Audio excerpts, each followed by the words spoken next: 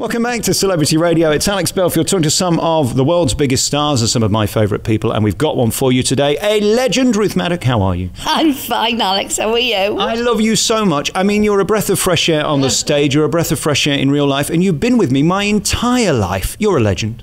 Oh, I don't know about a leg end, uh, but um, no, uh, it's lovely. Uh, when I look out in the auditorium, they're all my age group. it's amazing, you know, all these grey haired ladies. Um, it's a great piece to do this. It really is. I did the play for three years, playing another character in it. But this is a great little part, this one. It's a great little part. Not so little, really. I mean, you work hard in it, and let's face it, you get the biggest laughs. Well, Tim Firth has given me some wonderful lines, you know, and all you've got to do is do them. I love as well he plays to your strength. I mean, we get a little bit of Gladys in places, don't we? Yes. And we get some of those Welsh uh, zingers and ad libs and all that stuff, which are so brilliant and perfectly written in this play. Is there any wiggle room for you to ad lib in this, or is it as it's written? No, you must stick to his script because he's such a wordsmith, this man. He really, really is. I'm very proud to be associated with him because he's one of our great writers at the moment. Yeah. He really is. And it's funny and it's witty and it's also devastating and upsetting mm. and takes us to places where we think because of course we all know somebody who's been affected by cancer and Yeah. that is the takeaway from this isn't it that from the darkness becomes the laughter but Yeah. this is the circle of life and reality Absolutely, you're dead right there. You look out, you know, and there are people crying in the auditorium, but the laughter is very immediate in it. And that's what's so great, what he's done with this musical. The play was darker, um, but the musical, he's really handled tragedy so well. Well, you can, of course, when you've got music. And Mr. Barlow's written some wonderful tunes. So, you know, it's a real joy to do it. It really is. You have been in constant work for decades, and it's amazing to me when you look down what you've done. It's quicker to list what you haven't, I suppose. Is it still amazing to you when the phone rings and it goes, We want you? No, we really want you. It certainly is because um, about five years ago, uh, when I was 70, um, I thought, oh, well, it'll dry up now, you know. And it hasn't. It's got more and more and more. And that's so wonderful about my profession is that you don't have to retire. If you can cut the mustard, you know, uh, i.e., say your lines and don't bump into the furniture, as uh, Jimmy Perry used to say, um, then you will be employed because there are a limited amount of people that actually want to, of my age group, that actually want to go on tour. But I think probably, Alex, this will be my last big one. Mind you, I said that last year with the wedding singer Right. which I thoroughly enjoyed as well. Um, so I don't know. I don't know what will happen. I'd like to think that um, this will be my last big one because it's such a good piece. You know, it really is to go out with a bang touring. Of course, I shall do other things in the business, like my tallies and my voiceovers and all the rest of it. So that'll keep me happy. Well, it was funny last week. There I was, sat having me lunch. I was having a croissant or something, and I switched on BBC One. Doctors came on, and there you were with Sue. What? What was all that about? Well, what was it all about? I know, I know. It was it was very camp that. Um, for doctors, Who knew? who knew? Um, actually, I, I didn't see it, but that, obviously, you know, I did it. I didn't see it because I was doing something that particular day, and I, I was I was doing some filming. You missed a treat. You must watch yourself occasionally. You're very good at it. Am I? Yes. Oh, that's all right then. Fabulous. Never let yourself down. Oh, that's good. Oh, that's all right then. Um, but it, you know, it. I just get the work now. I mean, I've got a new thing coming out um, in January um, for ITV called "Hard to Please Old Age Pensioners," which is, I think, will be very funny. It's like um, grumpy old men and women meet one another on various situations. Um, so I think that'll be quite fun. Uh, I do hope the public like it. You never stop, do you? I mean, even on your days off from this, a bit like Danny, we were talking to earlier, she's off doing Loose Women, you're all doing different things. I wonder what your life is now, because it could be very lovely in Swansea, just enjoying life and doing nothing. You choose to do this. You could be at home. There is a payoff, isn't there? Because touring is tough. Touring is tough, and especially this schedule, which is Tuesday one show, Wednesday two, Thursday two, one on Friday and two on Saturday, and then you leave the venue Right. to go on to the next venue. And it is quite tiring that. Uh, this is why I must think of not myself, but my husband, God love him, because he does all the driving. And he's a 77 year old, so I've got to think about that sort of thing.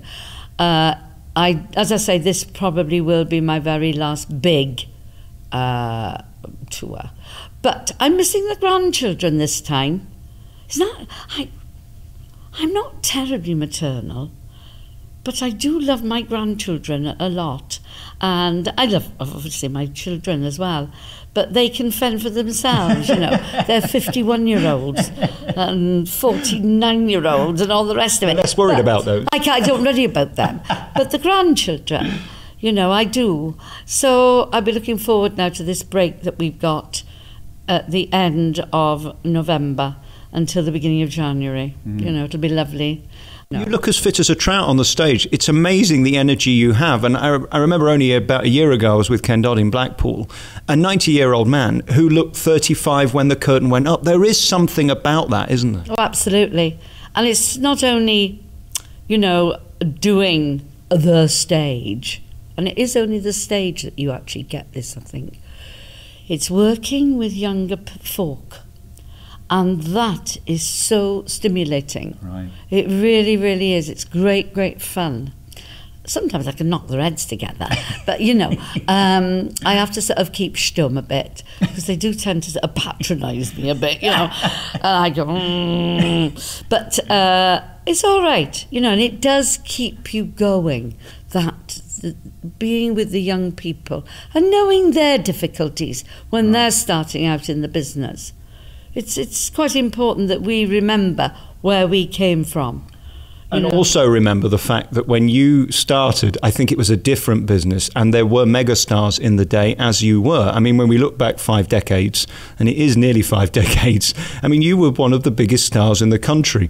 It's really hard to do that now because there's obviously seven million TV channels, and everybody's watching a different one. So I suppose they look at you with great reverence, and I hope you realise that. Well, I I hope they're not frightened of me. I wouldn't let them be frightened of me because I'm, I'm, I'm not. I'm soft. as- frightened of But yes, it has altered. It really, really has, Alex. And this is why I suppose before I'm much older, I have to write the book. Everybody seems to be writing books. I mean, Denise has written about three, and uh, you know somebody else in the cast has written two, and and Fern Britton's always writing a book. and I thought, well, I should really because it was very different when I came into the business. But you know these megastars that you're talking about, you know, the Tommy Trinders, the Arthur Askeys, you know, and all these wonderful people and people that I had the privilege of working with, Bob Monkhouse, they were not inaccessible. Today's stars are very inaccessible. Everything's done on social media. Right. And I think that's wrong. I think they were not. They they had all their fans at the stage door and they went out and they met their fans and it's very important that people do that. But it is exhausting. I mean, I've been out with you. I mean, you don't get more than two bites into a piece of pizza before somebody wants a selfie. Oh yeah, well, I mean, that's my problem. If I tend to go and sit on a, you know, a, a curb uh, um, cafe, you know, which is what we did the last time. Um, so that was our, my fault, really. But um, no, that you you really got to know, I think, and understand. And of course, when I came into the business, there was no amplification Right.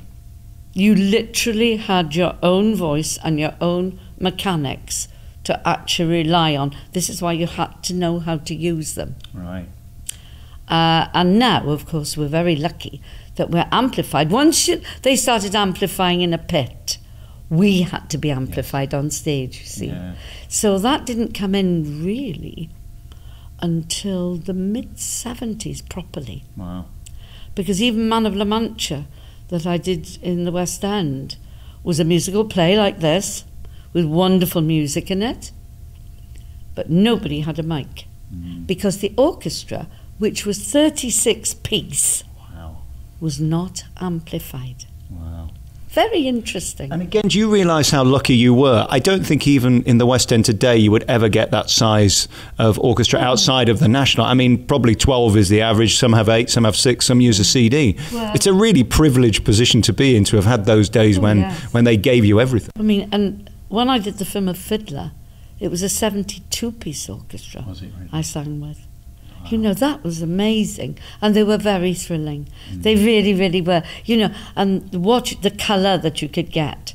And also, they accompanied you, Right. which is, ve- is very interesting. Did you ever let the pin focus take over and the ego got out of control? Because let's face it, when you're the star of the show and they're playing for you and your name's on the poster and you're on the billboards and all of this, it's easy to get carried away. Did you ever lose yourself? Actually, I didn't. I'll tell you why. Because I had two children that used to say to me, Oh, Mum, you're not going out doing that Gladys puke again. are you?" I used to call poor Gladys Gladys puke. You know, so I mean, I had no chance. I said, Gladys puke is paying for your education, lovely boy, lovely girl. You know, so I had no chance. you know, um, which has been marvellous because um, it's, I think it's a bit sad when you have ego because it can get in the way, Right. you know, um, of yourself, you Right. see. Because you you're not born with an ego, you have to acquire an ego. But you have to be very evolved to keep it intact, don't you? And, and say, right, calm down now, you're getting ahead of yourself. Yes, you do, but that's why I've always come back to the theatre. Yes. where you know you you have to cut the muster you know you have to do it and um, that's why I've always had my roots in theatre because there's always somebody much better than me on that stage And when you've got to go home and do your own draws, there's no ah, there. absolutely no nothing I'm going to let you get back to the husband because he is ah. so loyal and he loves you so much, and I know you do him too. Congratulations on everything. Thank, Thank you so you. much for your time and come and see Calendar Girls. You're magnificent in it. Thank you. thank you so much Alex thank you